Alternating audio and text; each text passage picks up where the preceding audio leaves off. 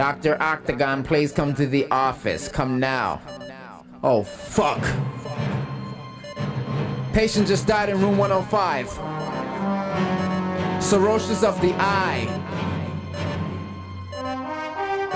Nurse, come in, please. Where are you? Fuck it, he's dead. Oh shit, there's a horse in the hospital.